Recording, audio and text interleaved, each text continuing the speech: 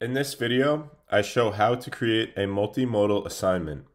First, click Add Assignment, then select Content to assign. The first part of my assignment is Machiavelli's text, The Prince. I will add a second and third part by clicking Add Another Part.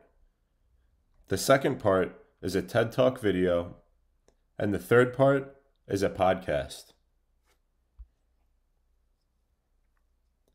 Everything is in order, so next I will click Save Changes and then Show the assignment. The assignment opens to the prince since that is its first part. After reading this first part, I'll click Continue Assignment to navigate to Part 2. After watching the second part, I will do the same to head to Part 3. Now I will listen to the podcast. Thanks for watching, and if you have any questions, please reach out to us at support at perusall.com.